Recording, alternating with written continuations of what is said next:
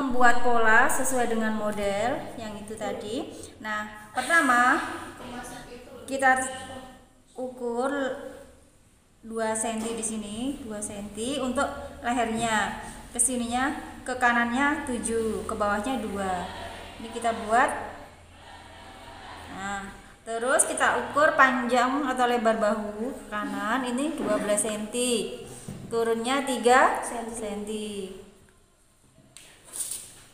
di garis ya. Di garis seperti ini. Terus ini kita ukur kembali. 12 cm nah sekarang kita ukur panjang punggung. Panjang punggungnya 38 di sini. Berarti kalau di kanan kita ukur 40 karena ini turun 2 di sini sebelah lehernya tadi. Ukur. Ini ketemu daerah ping pinggang di sini.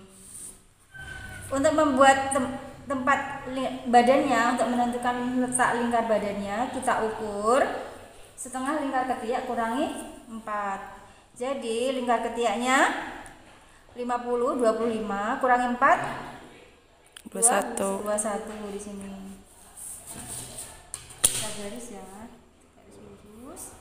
Ini putus-putus aja karena nggak dipakai Hmm. Udah. Kemudian untuk menentukan lebar punggungnya kita turunkan 8 cm di sini. Nah, ini 8. Ya. Kita garis putus putus. Nah, dari atas ya kita buat di bagian yang bawah bahu ini kita buat setengah lebar punggung. Lebar punggungnya 38 dibagi 2 hasilnya adalah 19. Jadi di sini 19. Kemudian di sini seperempat lingkar badan dikurangi 4. Lingkar badannya 100. Berarti seperempatnya 25 kurangi 1 24. 24. Nah, ini 20 24. Kemudian di sini di bagian pinggang ini seperempat lingkar pinggang ditambah satu ditambah tiga atau seperempat lingkar pinggang ditambah dua. Lingkar pinggangnya 90 dibagi dibagi empat itu 22 setengah. Tambah dua berarti 24 setengah setengah. Nah ketemu di sini nak kita garis di bagian sini. Nah kalau sudah seperti ini kita buat kupnatnya kupnatnya kita bagi dua di sini. Jadi pinggangnya dibagi dua ya untuk kupnat belakang.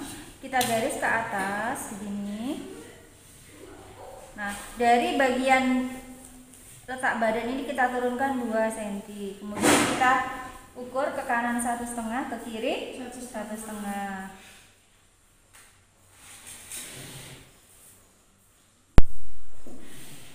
Ini pola belakangnya sudah selesai. Sekarang kita buat pola depan.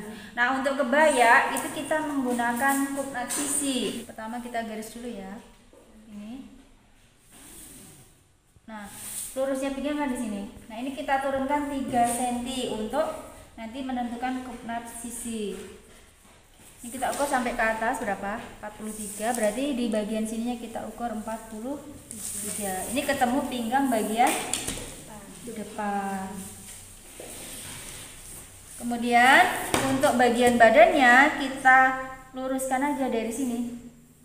Dari bagian ini bagian badan di belakang. Nah, kalau sudah seperti ini kita ukur saja. Di sini ini pinggang bagian depan. Rumus untuk membuat pinggang bagian depan adalah seperempat lingkar pinggang ditambah tiga ditambah satu. Jadi seperempat lingkar pinggang ditambah empat. 90 bagi 4 22 setengah tambah ini 22 setengahnya di sini tambah 4 di sini.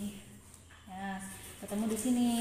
Sekarang kita ukur bagian badannya seperempat lingkar badan ditambah satu lingkar badannya berapa 22 setengah tadi seperempatnya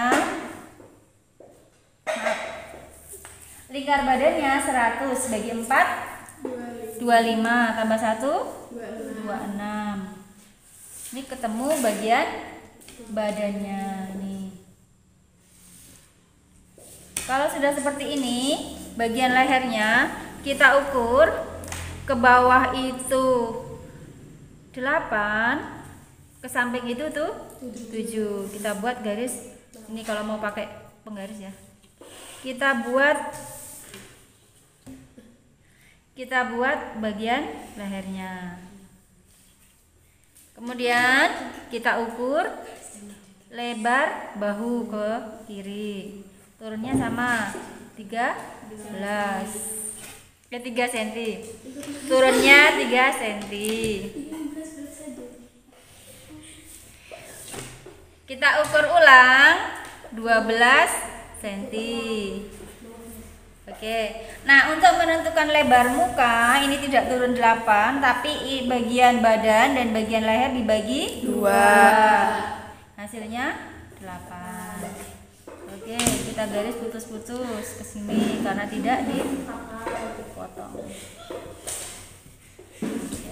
Kalau sudah seperti ini kita ukur bagian lebar mukanya di sini.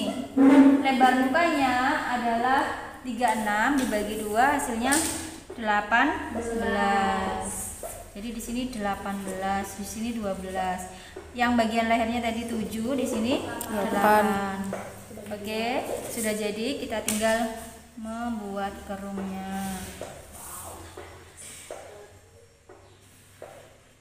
nah sekarang kita buat uh, kupnatnya kalau untuk kupnat itu orang gemuk itu 10 cm tengahnya kita ukur 10 cm dari bagian sini. Kita ukur naik ke atas di sini. Nah dari atas kita ukur tinggi dada dari bahu. Tinggi dadanya misalnya 26 di sini. Ya. Nah ini kita turunkan dua. Jadi ini 2 cm dari puncak dada begini. Jadi ke kanannya satu setengah ke kirinya satu setengah untuk kupnat ini kupnat di bagian pinggang. Sekarang kita buat kupnat sisinya. Dari ketiak turunkan 6 cm kita garis ke puncak dada di sini. Tapi tidak sampai ujung. Nih 2 cm kira-kira dari titik puncak dada. Naiknya satu setengah turunnya satu setengah. Oke di garis ke sini. Nah ini kita ukur panjangnya harus sama. Ini panjangnya yang bawah 14 setengah. Berarti yang paling atas juga harus 14 setengah. Kalau kurang ditambah keluar di sini. Nah kalau sudah ditambah keluar berarti ini kita tarik garis ke sini nah ini ke sini nanti polanya. Dan yang satunya ke sini lurus. Nah ini pola depan sudah jadi pola belakang sudah jadi. Kita ukur kerung lengannya begini. Nah 23 yang bagian belakang ditambahkan ke bagian depan. Nah hasilnya 40 delapan setengah. Dari 49 hanya kurang setengah sentimeter. Nanti pas e, pembuatan bajunya bisa kita e, tambahkan. Ya. Ini pola dasarnya sudah selesai. Nah untuk model ini bagian pinggangnya dinaikkan. Tadi panjang mukanya 39 jadi kita ukur dari sini. Nah 39 Berarti naik berapa ini kita ukur? Oh, naik 4 cm, Nak. Berarti pinggangnya kita kurangi 4 cm. Ini bagian depan dulu. Nah, jadi bagian bawahnya tidak dipakai ini. Kemudian bagian belakangnya juga dinaikkan 4 cm nah jadi bagian pinggang bawahnya tidak dipakai kupnatnya nanti ngikutin yang di sini nak. Ya. Untuk menentukan kainnya bagian bawah untuk lipit-lipit kita ukur panjang bajunya 70 cm nah kalau sudah ketemu di sini kita ukur sisanya ini berapa dari garis ini? Oh 34 cm berarti lipit-lipitnya nanti 34 cm ini polanya bagian depan nanti pada lipatan. Kemudian ini roknya atau bagian bawahnya ini dua kali lingkar pinggangnya atau dua kali bagian pinggangnya. Jadi lebarnya rok adalah dua kali lebar pinggangnya. Bagian belakangnya juga seperti itu. Bagian roknya dua kali lebar pinggangnya. Dan ini bagian lengannya dan ini untuk hasil potongan polanya. Untuk bagian kain organza ini sama dengan pola sedangkan untuk lapisan di dalamnya itu setengahnya atau pola dasar asli. Dan ini pola lengannya